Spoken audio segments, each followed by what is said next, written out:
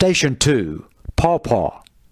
The pawpaw is the only temperate member of the tropical custard apple family.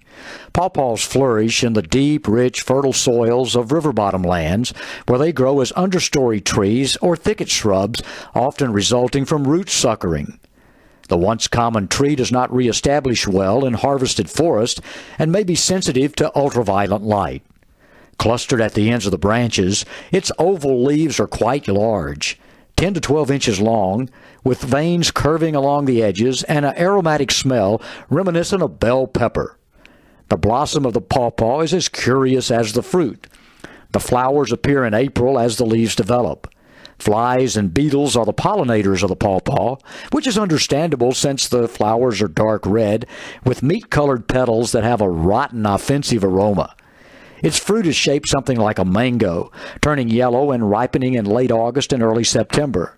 When ripe, this highly aromatic fruit has a taste that resembles a creamy mixture of banana, mango, and pineapple.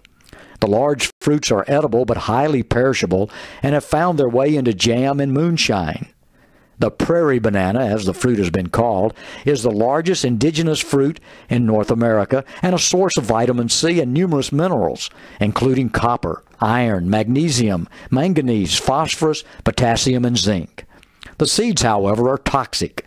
Pawpaw fruits are a favorite food of opossums, raccoons, foxes, squirrels, black bear, and mice. The pawpaw is the only larval host of the zebra swallowtail butterfly. The larva will eat the young foliage. Pupation usually occurs on the undersides of the pawpaw leaves, and some pupae can be found overwintering. The Cherokee use the pawpaw's inner bark for making rope and twine. The bare tree has a staircase arrangement of branches and naked burgundy leaf buds, making winter identification much easier.